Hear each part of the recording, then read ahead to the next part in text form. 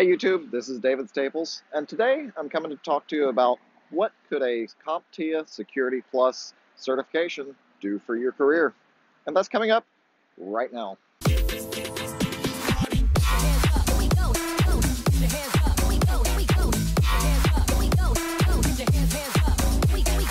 So today we're going to answer the question, what can a CompTIA Security Plus certification do for your career? Yeah, this is a question I get a lot from various students that are in some of my classes. And yeah, I teach all over the place, whether it's private sector, public sector, military. There's a lot of different types of students in my classes. So what can this do for your career? Now, just a little bit of a disclaimer before I get too far into this video. This video is being sponsored by CompTIA.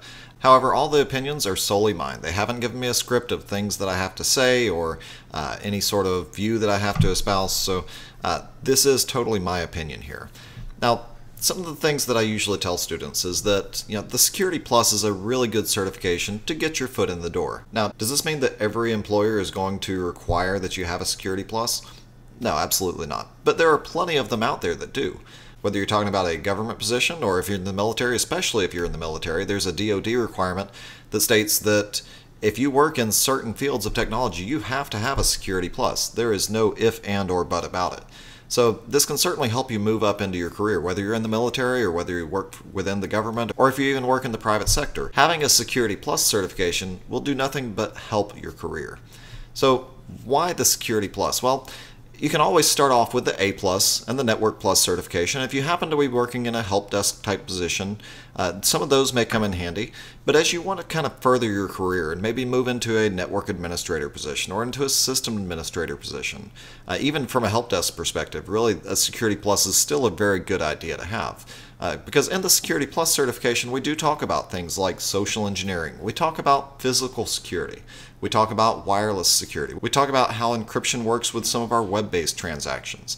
You know, all these things that you know, everyday users use, we talk about in the Security Plus classes. So the Security Plus exam helps to actually validate some of these skills that you may already be using. Or one of the classes, such as the ones that I teach, may help you learn different things that will help you in that new career. So one of the nice things about the Security Plus certification is that it's not just a multiple choice exam. It does have some performance-based questions on there to help show that you can actually do the job whether it's looking at some log output or looking at some firewall rules or whatever the case may be, it's helpful to actually show that you can really do the job. You know, it's great to actually get your foot in the door, but employers want to see that once you get your foot in the door that you can actually keep it in the door and that you can actually do the job that you've applied for and the job that they've hired you for.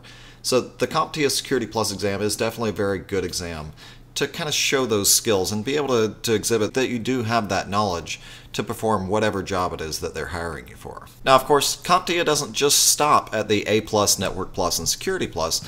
They do have certifications beyond that as well. So if you want to continue your cybersecurity career even further, of course, there's certifications such as the Cybersecurity Analyst.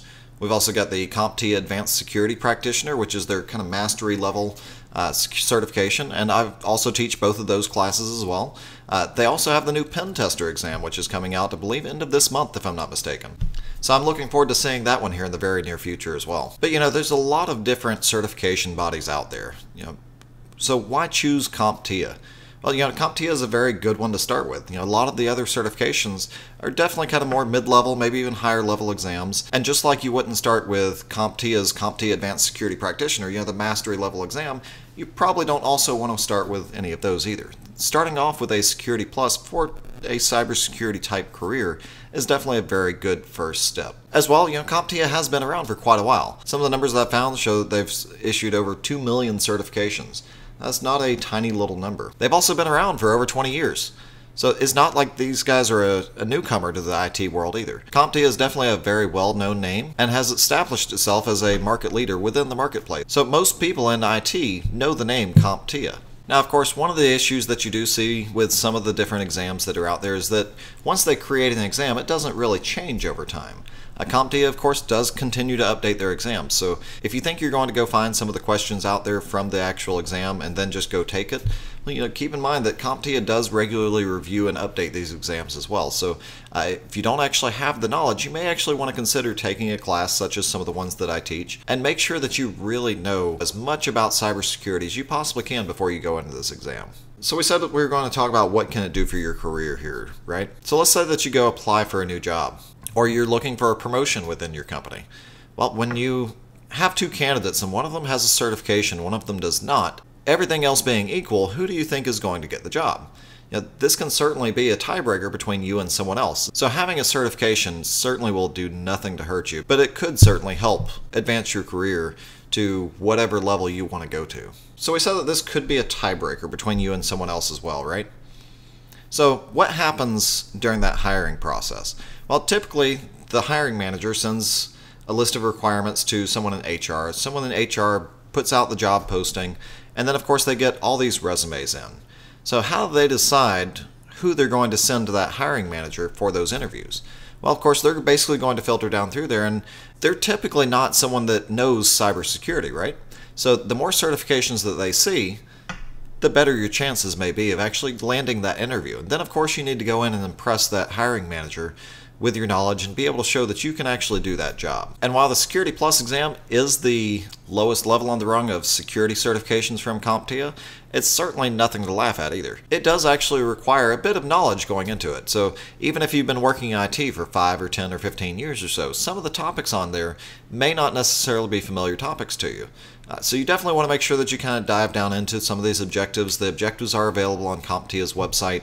Uh, if you're looking for more information about the exam, I do have a video on my channel here about it, or you can go directly to certification.comptia.org. You can download the objectives for yourself, and be sure to check out the links in the description below as well. Kind of flip through there, you'll see the different encryption algorithms. You'll see the different uh, types of security that they want you to be familiar with, uh, the different types of wireless networking and Ethernet networking that they want you to be familiar with. So it's definitely not a bad idea to take a look at the objectives list before you go try and take the exam. So if you've got any questions about the CompTIA Security Plus exam, uh, or any questions about how it might be able to help you further your career, I'm happy to answer any questions that you've got. Feel free to leave those down in the comments below. If you like this video, click on that like button, and if you haven't subscribed already, be sure to join all those others by clicking that subscribe button down below, and stay tuned for the next video. But in the meantime, you guys take care, and we will see you soon.